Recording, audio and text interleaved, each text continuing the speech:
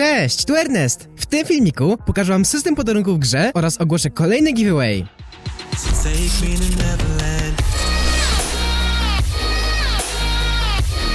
Nadeszła aktualizacja 6.31. Dodała nową broń, zmieniła balans gry i tak dalej. Jednak Epic dzisiaj o 10 nie ogłosiło jeszcze jednej rzeczy. Systemu podarunków. Myśleliśmy, że pojawi się ono dopiero w siódmym sezonie, z okazji Świąt Bożego Narodzenia. Aż tu nagle Epic wstawiło post na oficjalną stronę wiadomości o Fortnite, zatytułowany Opcja wysłania podarunków pojawi się w Battle Royale. Tak, to już ten moment. I zanim przejdziemy do omówienia tej funkcji, ogłaszam giveaway na dowolny przymiot ze sklepu. Wyniki ogłoszę wieczorem w najbliższą sobotę i osoby, które wygrają, będą mogły sobie wybrać dowolny przymiot ze sklepu, ale niestety dopiero po 48 godzinach po wygranej. Dlaczego? Dowiecie się już za moment. Sprawdźcie też opis, bo może postanowię skrócić czas oczekiwania na wyniki, a do tego jest tam instrukcja jak wziąć udział.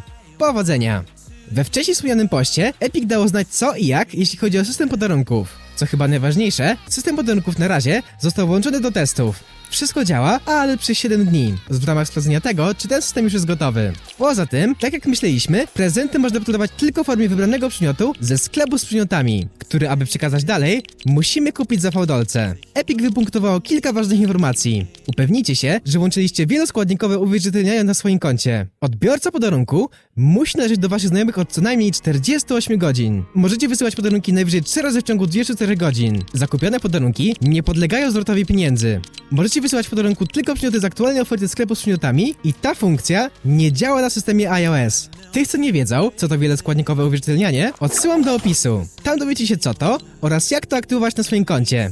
Postaram się też rozsyłać pomoc w komentarzach, ale sprawdźcie najpierw, czy ktoś już nie dostał odpowiedzi na wasze pytanie przed wami. A wracając, to aby podarować prezent, musimy udać się do sklepu z przedmiotami, wybrać interesujący nas przedmiot i wybrać opcję kup jako podarunek. Teraz, teraz otworzy wam się menu, które możecie kojarzyć z jednego z moich poprzednich filmików. Wszystko jest jasne i tak jak myśleliśmy. Musimy najpierw wybrać komu chcemy przekazać prezent, następnie możemy dodać wiadomość i gotowe.